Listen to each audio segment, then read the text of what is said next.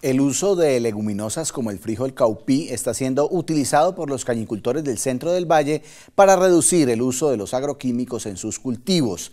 Este método hace de sus producciones una práctica más amigable con el medio ambiente. En Bugala Grande, una empresa agrícola está implementando cultivos asociados del frijol caupí y soya en medio de las plantaciones de caña de azúcar. El uso de estas plantas ha demostrado que reducen el crecimiento de malezas, lo cual hace que se evite el uso de agroquímicos y a su vez aporte a los suelos nutrientes tan importantes como el nitrógeno. Nosotros eh, hace aproximadamente unos cinco años eh, tuvimos la idea de de ayudar o hacer un aporte dentro de nuestra actividad agrícola que ayudara a impactar de manera positiva pues, nuestro medio ambiente.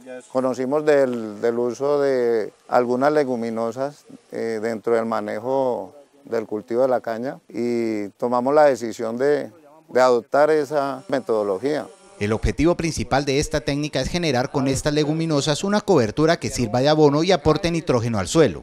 Además, evita que en los primeros dos meses de siembra aparezcan otras plantas que compitan con este cultivo, lo cual evita el uso de sustancias químicas para el control de la maleza. Este tipo de iniciativas hace que se pueda evidenciar que los cultivos de caña generan unos impactos pero que pueden ser controlados o minimizados.